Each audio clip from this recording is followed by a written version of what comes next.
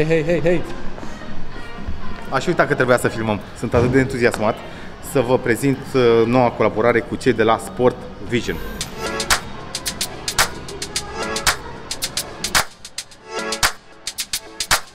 Și când zic că e noua colaborare, e de fapt vechea colaborare, pentru că nu știu câtă lume știe, dar uh, am fost guest speaker în 2017 când s-a deschis această locație din AFI Palace Cotroceni. Deci sunt de-al casei, sunt vechi. Asta e prima lecție pentru care am vrut să fac vlogul ăsta, oameni buni, voi puteți să purtați cum vreți, ce vreți, uh, în orice ocazie, dar există niște reguli. Una dintre ele, una nescrisă, și o să vă demonstrez cu vitrina, este să nu te îmbraci sorcovă, adică nu Nike, Adidas, Reebok, Puma, deci brandurile astea sport, competitive la același outfit. Puteți face chestia asta, bineînțeles, dar nu e de preferat. E ok să aveți outfitul de sus până jos. Sau mai sunt niște branduri non-competitive. De exemplu, branduri cum ar fi Jim Beam, care face echipamente sport. Alea nu intră în competiție cu Nike și Adidas și deloc. Sau New Era, care face șepci. Poți purta New Era la Adidas, poți purta New Era la Nike. Repet, nu o luați, am văzut că mulți oameni se supără când aud informația asta. Dacă vreți să o luați în calcul bine, dacă nu, nu, dar haideți să vă arăt. Uitați cum am făcut vitrinele. Nu i-am sfătuit eu să facă chestia asta. Există oameni care se ocupă special de îmbrăcat manechinele. Hai să vedem.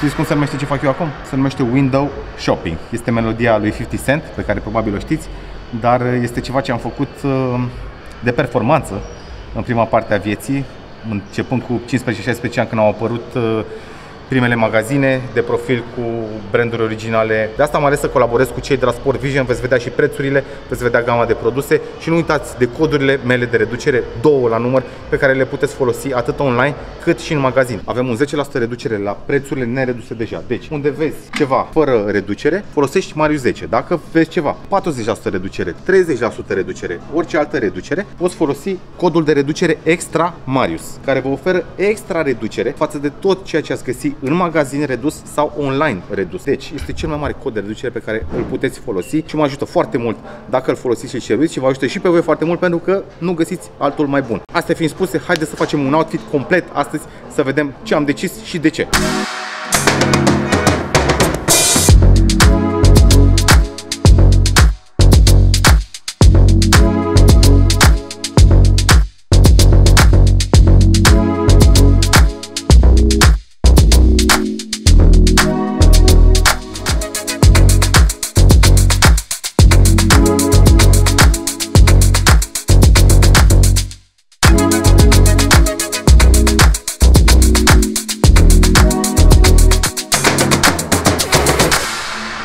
Deși am decis să fac astăzi un outfit nesorcover, doar din Nike, vreau să vă arăt neapărat perechea asta, se numește Adidas 4D Forward. Pentru produsul ăsta puteți folosi codul Marius10, vă oferă 10% reducere. Deci, varianta asta printată, 4D, este a patra pereche pe care o am cu genul ăsta de talpă, dar restul de trei fiind ceva streetwear, ceva mai casual, Asta e singura care are chiar o atenuare a șocului extrem de eficientă și îmi plac foarte mult când îi folosesc pe bandă. Mă ajută foarte mult genul ăsta de talpă, dar nu pe ăștia luăm astăzi, totuși vi recomand pentru că am patru perechi cu genul ăsta de talpă, dar asta sport e cea mai bună. Și am fix același model, fix de aici cumpărat, vi la fete că e redus. Fetele sunt mai norocoase. Fetele au 50% reducere la perechea asta, care costă 624 de lei. Deci codul Extramarius funcționează fix pentru perechea asta, în afară de nuanțele astea care sunt un pic de altă culoare. La bărbați e fix aceeași pereche. Sunt superbi și 50% reduși. În general, nu toate modelele se reduc. Nu toate modelele le găsiți la un preț de genul ăsta. Contează foarte mult popularitatea lor. Se pare totuși că modelul ăsta, deși mi se pare în momentul de față poate cel mai tare de la Adidas, totuși se pare că nu e atât de popular sau strategia lor de marketing vă oferă reducerea asta. Eu personal aș super profita de ele. Foarte ok ce au și la fete. N-am avut niciodată, de exemplu, ceva de genul ăsta, Asics.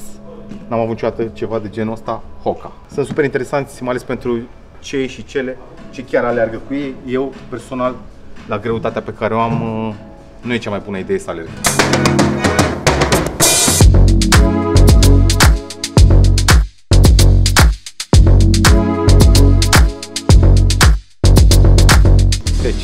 Sunt uh, împărțit între două perechi. Nu am nimic de genul ăsta Nike React Gore-Tex. Gore-Tex este colaborare pe care o au și Nike și Adidas și probabil și alte branduri. Este o variantă impermeabilă. Ăștia sunt trail. Trail înseamnă că sunt pentru mers pe munte, ai nevoie de aderență, au niște proeminențe la nivelul tălpii. Midsolul React înseamnă că este foarte moale.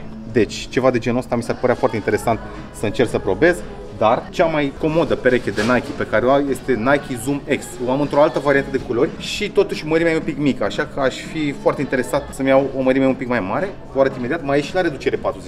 Asta este Nike Zoom X. Ceea ce aleargă, ceea ce merg pe bandă, ceea ce fac ceva ce necesită această atenuare a șocurilor. Nu aveți cum să aratați perechea asta. Au fost votați top 5 pe majoritatea site-urilor de profil, cei mai confortabili Adidas. Partea superioară este extrem de ușoară, ei sunt foarte ușori, dar talpa asta e de departe cea mai moale pe care am folosit-o vreodată, este un fel de bezea. Și avem și de la Adidas Ultra Boost, dar comparația dintre cele două totuși din punctul meu de vedere ar ieși în favoarea Zoom X-ului. Îi am și pe ăștia, aproape identică culoarea, doar că ăștia sunt cool dry, ai mei au prime knit pe partea superioară, iar uh, la Nike se numește fly knit. Pro tip, fiți atenți vedeți totuși aceste încrețituri, arată cumva talpă învechită. Dacă puneți feonul, aceste încrețituri dispar. Spuma se extinde și aceste încrețituri dispar, pur și simplu. Dar uh, așteptați-vă să se încrețească un pic de la mers. Dar nimic ce nu poate rezolva feonul. O să vă arăt în poate alte episoade.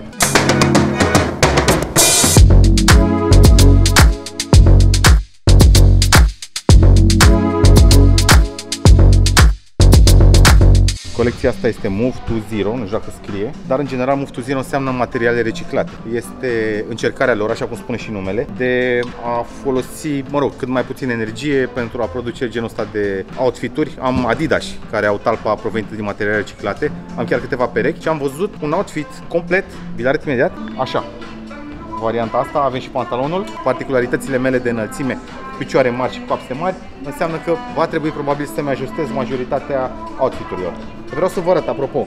Deci, Nike Tech Fleece este fix varianta asta, premium de la Nike. Astea sunt cam cele mai scumpe, undeva la 500 de lei pantalonul, vreo 600 anoracul. Dacă nu le găsiți la reducere, câteodată sunt la reducere, dar nu prea des. Asta chiar e varianta premium. Și puteți recunoaște după material odată și avem două dungi care încadrează genunchiul. Jos se strânge foarte mult exact așa cum îmi place și există pe toate variantele de culori. Avem și hanoracul aici.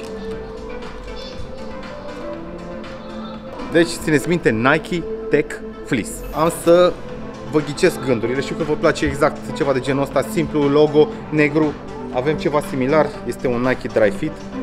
L-am avut și mărimea asta, mi-a rămas mic. L-am avut mărimea S, acum îi vine Anei, mie nu mai vine, dar găsiți aici și vă super recomand măcar un outfit de genul ăsta, negru, complet, maxim logo alb, dar negru simplu e ok. Șapca, o găsiți și la Sport Vision, ia uitați. Este trucker hat, adică de camionagiu, pentru care partea asta de pânză vă recomand așa ceva în sezonul cald. Dacă vreți să purtați în sezonul rece, nu cu pânză, că îți va fi probabil frig. Deci așa arată. Negru integral, există și varianta, bineînțeles, cu alb, nu aici, dar există. Mie totuși negru integral îmi place mult mai mult. Avem varianta asta, am ceva similar acasă și varianta asta cu LA, am ceva similar cu New York acasă. Nu știu dacă știți, dar New Era face chiar cele mai bune șepci. Ce vă super recomand la ele este să nu vă așezați pe ele, să aveți grijă de ele, să aveți grijă dacă le cumpărați online, dacă au venit deformate, să le dați retur pentru că nu vor arăta niciodată bine. Deci New Era super recomand, găsiți aici niște culori foarte bune.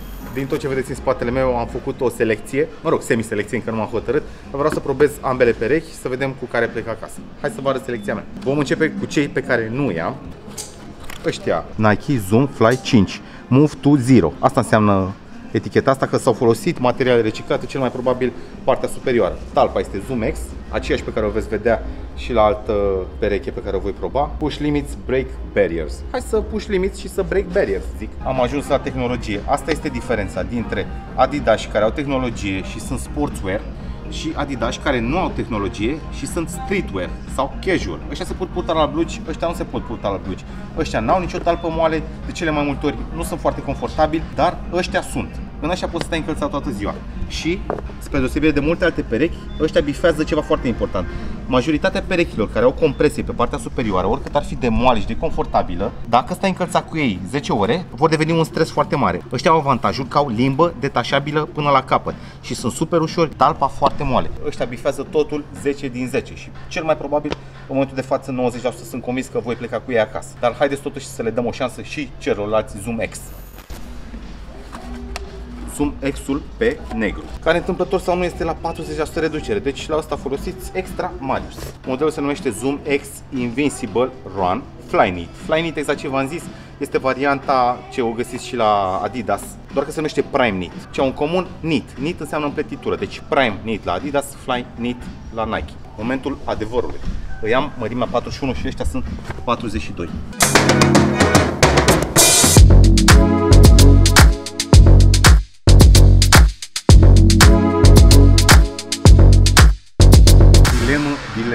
Care să îi iau în momentul de față, sincer, pe ăștia i-am în altă variantă de culori, doar că sunt un pic mici. Ăștia mă strâng un pic în lateral și în față să zic că sunt cu un sfert de număr, jumătate de număr, o idee mai mare. Cred că voi rămâne cu cei verzi totuși.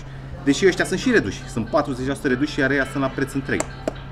Decizii, decizii. Hai că mai gândesc până la sfârșit. Mergem să găsim un training și un tricou. Hai să mai facem și o mică distinție între outfit pentru în sală, pentru sport, pentru alergare și outfit pentru pe stradă. Nu toate materialele se pretează pentru același gen de activități. De exemplu, astea, materialele de genul ăsta, sunt special pentru performanță. Cred că sunt și puse de așa natură. Sunt antivânt, sunt antiploaie, sunt uh, de transpirat în ele. Avem și de la Asics la fel pentru alergare. Uitați-vă și voi, este windbreaker.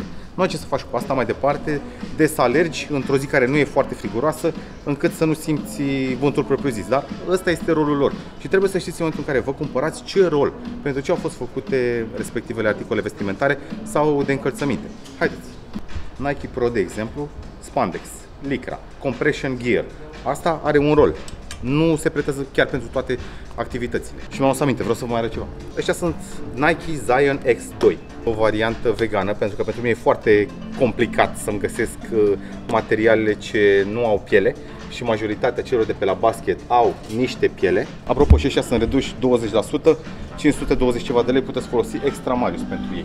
Mie îmi plac foarte mult. Apropo, pentru outfiturile de basket, pentru maiourile care sunt de cel mai multe ori oversize, pentru shorturile care sunt oversize, nu merge să vă luați ceva de genul foarte mult pe picior și mic, cum am luat eu, pentru că nu se vor vedea bine în picioare niciodată vă trebuie ceva mai voluminos, mai butucănos, tocmai de asta merită să păstrați stilul sportului pe care chiar dacă nu îl practicați, îl emulați prin investimentație. Deci Adidas și de la basket merg la outfit de basket și echipamentul de alergare merge cu încălțare de alergare pentru că nici nu se va vedea bine altfel. Tema este să găsesc ceva ce îmi place și nu am. Am două variante de bluze de genul ăsta, chiar am filmat două vloguri mai devreme, Grădi știe. Vă super recomand așa ceva. Este și redusă 30%, dar am. N-are sens să am trei bluze după ce am două. Ce nu prea am, nu prea am colanți, dar totuși tematica de astăzi n-aș vrea să fie neapărat colanți. Aș vrea, best case scenario, să găsesc un hanorac cu fermoar. Majoritatea sunt uh, cu tras pe cap, aș vrea ceva cu fermoar. Să vedem dacă găsesc. Văd că avem uh, varianta de training Jordan. Nu am niciun training Jordan, deci asta ar fi o variantă dacă aș găsi un hanorac și bineînțeles mărimea potrivită, ar intra în cărți. Că tot am vorbit de basket, la genul ăla de încălțăminte, mai ales că are și reflexii spre violet, v-aș recomanda uh, ceva din gama asta, de la basket. Hopa! Pot să plec fără asta acasă? Ce credeți? Eu nu știu dacă aș putea. Stay freaky. Ce, pentru mine, dacă e și mărimea, avem un XL și un L, unul dintre ele va merge cu mine acasă, dar să vedem ce găsim mai departe. Hopa, hopa, hopa, hopa, hopa avem Stay Freaky. Ăsta îmi place mai mult decât ăsta. Problema care e? Din experiență vă spun pro tip. Astea transpiră sub braț culorile astea. De asta le evit. De asta încerc mai mult alb-negru. Încerc să-mi iau ceva ce rămâne util și după ce transpiră, ce e ăla de acolo vreau. Văd 30%, foarte nice asta. Punem un semn mental. Văd că are mare parte dintre mărimi și are și pantalonul aferent. Unde găsesc eu oare ceva cu fermoar? Deși am văzut foarte multe variante, printre care inclusiv maro, avem Move to Zero pe turcoaz, unde avem și pantalonii. Am decis totuși să mergem cu Move to Zero ăsta pe culoarea crem, cred că e crem, dar și ăștia sunt în cărți. Aș putea totuși să fac un outfit așa, unde avem și hanoracul relevant. Mergem LL, L-ul e și ăsta de pe mine, dar ajustat jos. Să vedem care ne vine mai bine, decidem împreună. Hai. Are și glug antivânt, adică pentru gătuți, să nu răcim la gătuți. Mare un fermoar ca să ne dezbrăcăm invers. Protecție antiscămoșare și antideteriorare. Singura chestie s-ar putea să vreau, dar nu e obligatoriu, să merg la croitorie să-mi iau un pic din mânecă și să o strântez un pic, așa îmi place mie. Având în vedere că avem un ceas la cealaltă mână, totuși asta este mărimea. Pantalonii sunt L, hanoracul este L, cel mai probabil voi pleca cu, ziceți voi, L. L, L, ăștia sunt, uh, ar fi mers și M, totuși, dar nu mai vreau haine mulate, nu mai vreau haine mulate, vreau haine mai lărguțe.